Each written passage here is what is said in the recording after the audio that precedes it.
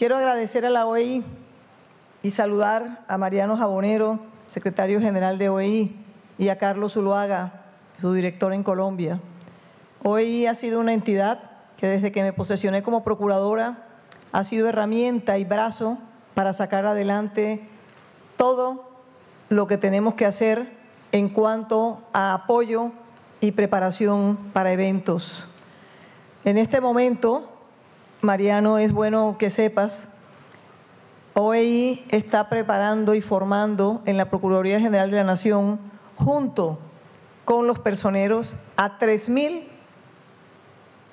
funcionarios y empleados en un diplomado en donde la Universidad Externado de Colombia es quien lo certifica en Derecho Disciplinario, el nuevo Código Disciplinario, Ley 2094 de 2021 y Ley 1952 de 2019. Es un trabajo arduo, 3.000 personas, entre 1.000 personeros y 2.000 funcionarios y empleados de la Procuraduría General de la Nación de manera virtual y sin un error, con todo un operativo técnico y con los mejores formadores de la Universidad Externado de Colombia estamos haciendo ese diplomado. Y eso solo para nombrar una de las tantas actividades que estamos realizando con el apoyo de OEI en la Procuraduría General de la Nación y por eso quería, antes de terminar de saludar, dar ese agradecimiento especial a OEI y a su gente. Un saludo muy especial a Rigoberta Menchú Tum, Premio Nobel de Paz. Es un placer que estés en mi tierra y es un placer poder escucharte. Vamos a aprender, estoy segura. Cada día es bueno llevarse un aprendizaje a la cama y amanecer contento por haberlo recibido. Mil gracias por estar hoy con nosotros. A Carlos Camargo, defensor del pueblo, quien hace parte del equipo del Ministerio Público, y Hernández, nuestro querido rector de la universidad, por darnos la oportunidad de estos espacios de intercambiar de una manera informal pero profunda temas tan interesantes y tan importantes como es la educación como garantía de los derechos humanos. Y un saludo a toda la audiencia, señoras y señores, abogados, catedráticos, estudiantes, procuradores que hay aquí desde mi entidad. Les agradezco que estemos aquí hoy intercambiando temas de gran trascendencia como es lo relativo a la educación. Y lo digo de gran trascendencia porque, porque a mí me lo decían siempre. Yo recuerdo haber nacido con la idea en mi casa en donde mis padres me decían, no te vamos a dejar fortuna. Siempre me lo dijeron, porque no tenemos, pero te vamos a dejar educación. O te vamos a dar los elementos para que puedas estar formada y con eso te puedas defender. Y así fue. No me dejó fortuna, pero me dejó una gran fortuna, que fue la educación. Y con orgullo hoy digo algo que no lo hago con mucha frecuencia de carácter personal. Empecé como escribiente primera en el Juzgado Noveno Civil Municipal de Barranquilla. Estudié en la Corporación Universitaria de la Costa de noche y trabajaba de escribiente de día. Pero mi padre me enseñó que había que estudiar, que había que formarse. Y me decía una frase que nunca se me ha olvidado y que se las quiero compartir hoy. La frase era, hija, el conocimiento te da el poder.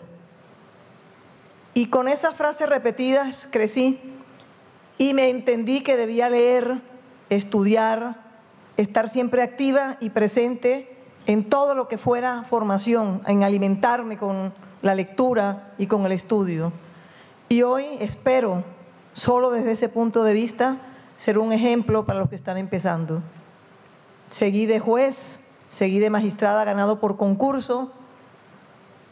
Me fui renunciando a la carrera para Bogotá a buscar nuevas nuevas rutas y nuevos futuros, renunciando a la seguridad y tuve la oportunidad, solo por los conocimientos, de ser magistrada de la Corte Suprema de Justicia, de ser su segunda mujer presidenta de la Corte Suprema de Justicia, de ser la cuarta mujer ministra de Justicia y del Derecho, y de ser hoy con orgullo la primera mujer procuradora de la nación después de 200 años de existencia de esa institución.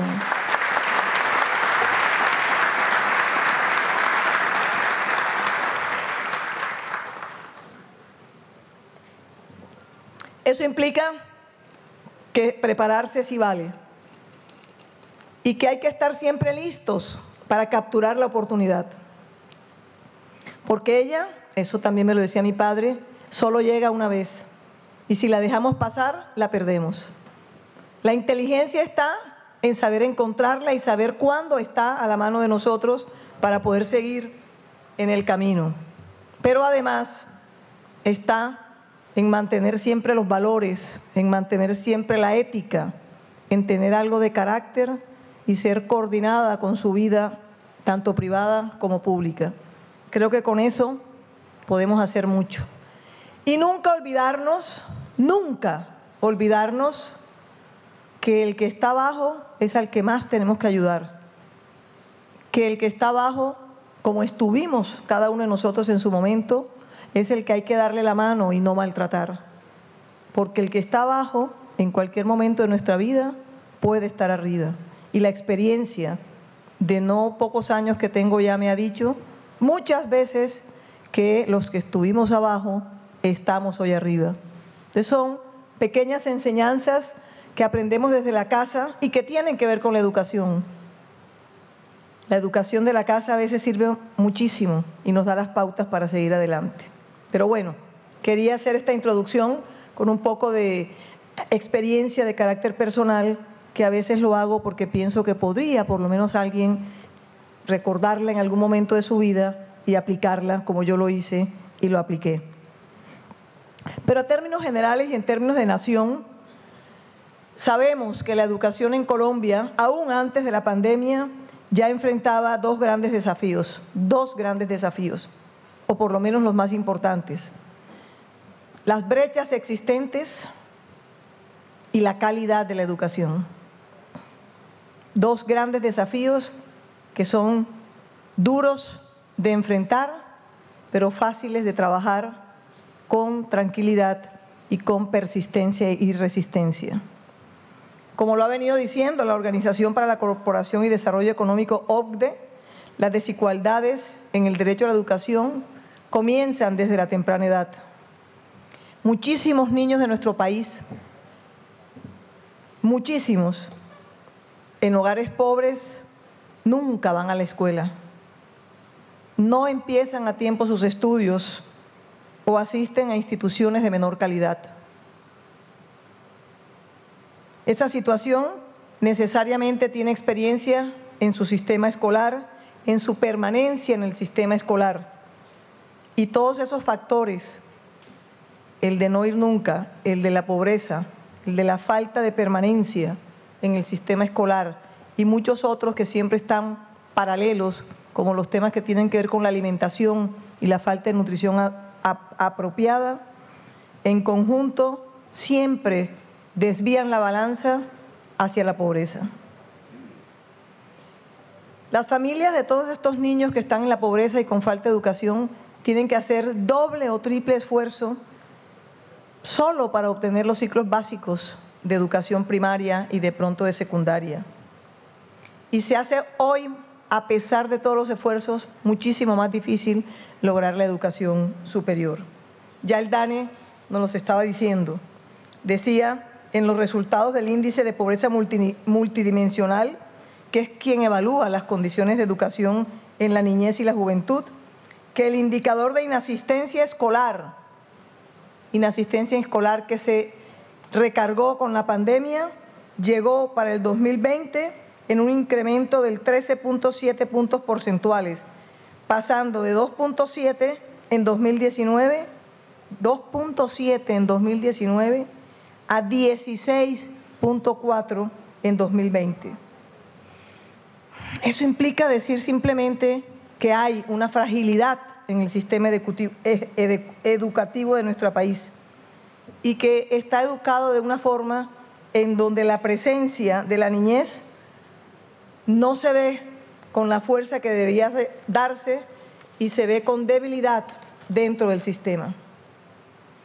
¿Qué hacer? Es la pregunta de todos. Llegó la pandemia. El esquema de aprendizaje en casa también puso en evidencia las debilidades de nuestra infraestructura. Por mucho interés que teníamos en que la educación llegara en ese nuevo esquema, indudablemente la falta de conectividad, la falta de servicios públicos básicos, energía eléctrica, hacían o hicieron que en todo este tiempo de la pandemia también aumentara el incremento de desescolarización. Desde la Procuraduría hemos tratado de meternos de lleno en esta preocupación, tratando de ver cómo logramos que esas fragilidades se conviertan en aspectos robustos frente a nuestra niñez, nuestra infancia y nuestra adolescencia. Como decían algunos, el futuro de nuestro país, quienes nos van a dirigir en un futuro en nuestro país. Y en esa misión de vigilancia preventiva orientamos nuestros esfuerzos en torno a dos líneas fundamentales.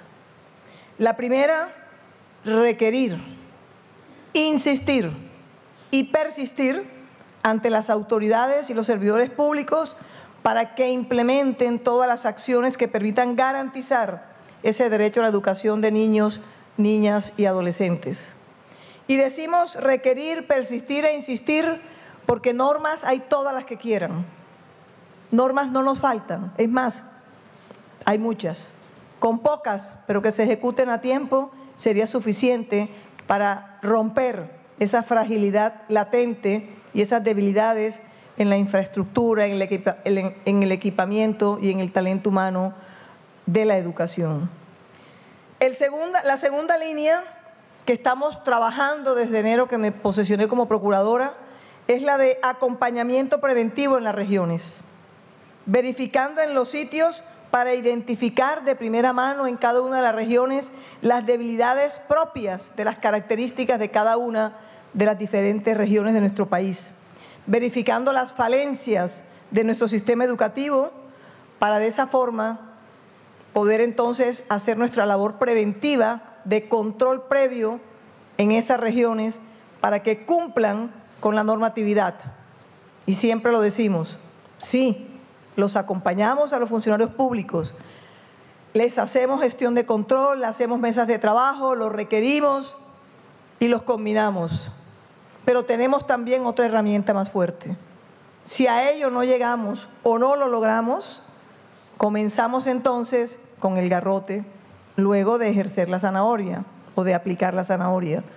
Iniciamos indagaciones, iniciamos investigaciones y procedemos a las sanciones correspondientes de carácter disciplinario que van desde la suspensión y posiblemente hasta la destitución y la inhabilitación. En este caso, ¿qué hemos hecho concreto? En abril, por ejemplo, nos tocó ya, luego de las primeras visitas y revisiones, exhortar a cinco gobernadores y a 18 alcaldes para que garantizaran la oportuna gestión de los recursos del FOME Fondo de Mitigación y Emergencia, para la implementación de los planes de alternancia requeridos para el retorno gradual, progresivo y seguro de la presencialidad. Hay presupuesto, hay dinero para apoyar la educación y lograr la presencialidad relativa y progresiva. Pero igual nos tocó, mediante la Directiva 012, exhortar también, ahí sí en general, no a los que estaban quedados, a gobernadores, alcaldes, docentes, directivos, personal administrativo y de apoyo logístico en establecimientos educativos para retomar las actividades educativas de manera presencial, pero todo siempre en el marco de los lineamientos del Ministerio de Educación Nacional y del Ministerio de Salud y Protección Social, así como por los lineamientos de las entidades territoriales de cada jurisdicción. En septiembre reiteramos a 31 gobernadores esa necesidad de avanzar en el retorno a la presencialidad en los establecimientos educativos, pero repito, atendiendo adecuadamente la adopción de las medidas de bioseguridad. Evidenciamos también los rezagos en el retorno escolar. Se requirió a seis gobernadores y 14 alcaldes de las entidades territoriales para ya no el regreso de nuestros docentes, sino el regreso de nuestros estudiantes a la presencialidad. Aún estamos en un porcentaje inferior al 45% de los estudiantes registrados con matrícula oficial que estén cumpliendo con el retorno total, pero paulatino, a la presencialidad. ¿En qué otro tema estamos trabajando duro? En la conectividad. Es urgente el trabajo de la conectividad para poder también lograr ese trabajo en casa o ese estudio en casa cuando a ello haya lugar. Nosotros como ente de control requerimos al Ministerio de Educación, con quien trabajamos también al lado de ellos para lograr avanzar, y también al de las tecnologías y las comunicaciones, y a 96 mandatarios de entidades territoriales certificadas en educación para que nos informen respecto de los avances y las coberturas en los programas de implementación de la conectividad en nuestro país. Producto de ese seguimiento fue posible identificar entidades territoriales que ya han accedido a proyectos promovidos por el Gobierno central y que manifestaron contar con estrategias propias para disminuir la brecha digital y la falta de medios tecnológicos en las instituciones educativas. También les decía que hacemos acompañamiento preventivos en las regiones. Esa segunda línea de acompañamiento preventivo lo hacemos con verificación en sitio de las condiciones y de las capacidades de los centros educativos y de los docentes. Para nuestros gobiernos territoriales, la prestación del servicio de educación representa un reto hoy en día porque comprende aspectos alejanos de las capitales, zonas rurales y de alta dispersión de la población que nos obliga a presionar para entrega de mayores presupuestos, para entrega también de carreteras y de vías de acceso, que lo hacemos a través del Ministerio de Transporte con los requerimientos adecuados, porque no es solo reclamar la educación, sino reclamar los elementos suficientes para la infraestructura correspondiente. Y hay un tercer punto ya casi para terminar, en el que estamos muy, pero muy encima, y es los programas de alimentación escolar PAE. No es solo ir a la escuela, no es solo ir a educarse, es ir a educarse en las condiciones alimentarias suficientes. La desnutrición afecta la capacidad cognitiva, afecta la inteligencia, afecta el desarrollo oportuno de los menores y por lo tanto ahí tenemos el enfoque. Hoy tenemos en la Procuraduría más de 180 investigaciones disciplinarias por incumplimiento de los directores, gobernadores y alcaldes de los entes territoriales en los compromisos con el PAE. Y que no me digan que es que no tienen el presupuesto porque las investigaciones son casualmente por la dilapidación y la mala distribución de los presupuestos que desde el nivel central y desde el Ministerio de Educación se están entregando para cumplir con este mínimo requisito de crecimiento sano como es la nutrición. Vigilamos la entrega de las raciones alimentarias en todo el territorio nacional y eso nos ha permitido identificar esas presuntas irregularidades, motivos de esas 180 y más investigaciones disciplinarias contra funcionarios de carácter territorial. Estamos vigilando la calidad, las condiciones en que se entrega, la prestación oportuna del programa. Y ustedes ven las noticias. Hace poco encontraron enterrados una serie de alimentos dañados para que la Procuraduría no se diera cuenta de la calidad de lo que estaban entregando. Pero nos dimos cuenta y vamos a seguir sobre esa misma línea. Ya estamos ahora, hoy, 2 de diciembre, preparándonos para exigirles a los mandatarios territoriales que en enero tiene que estar incluido el plan completo de desarrollo sobre la organización de los PAE. No nos vamos a quedar en sanciones. Muy bien y sancionaremos, pero tenemos que prepararnos. Tenemos que estar listos para el 2022, para que en enero todos los alcaldes nos, nos entreguen los planes y la manera como van a organizar este programa de alimentación escolar para que llegue a tiempo y con las condiciones adecuadas de acuerdo con los presupuestos que se les entregan. Ya solicitamos al Ministerio de Hacienda y Crédito Público priorizar la cofinanciación del PAE para la vigencia del año 2022. Y ahí estamos con el Ministerio de Hacienda. Priorizar esos dineros para que lleguen a tiempo. También se requirió ya a las entidades territoriales para que adelanten de manera oportuna y diligente todas las acciones que garanticen la prestación de ese servicio. Enero de 2022. Estamos atentos y listos con un equipo en la Procuraduría Especial dedicado exclusivamente a garantizar la entrega de las raciones alimentarias a nuestros menores en todo el territorio nacional dentro de las oportunidades y con la calidad de vida. Y ya para cerrar, quiero decirles que esa labor de seguimiento que estamos haciendo desde enero de este año nos permite identificar las debilidades en la prestación del servicio de educación y nos permite algo más que estamos haciendo, que es la generación de alertas tempranas. Generar alertas tempranas nos hace ser preventivos, proactivos y no reactivos. Y de esa manera podemos evidenciar las limitaciones en las estrategias de acceso y permanencia escolar implementada durante la etapa de confinamiento y, hacer un avance necesario y urgente para recuperar el terreno perdido en este año y medio, casi dos años de pandemia, especialmente en lo que corresponde a las pérdidas por, por el aprendizaje o a las pérdidas de aprendizaje en virtud de la pandemia.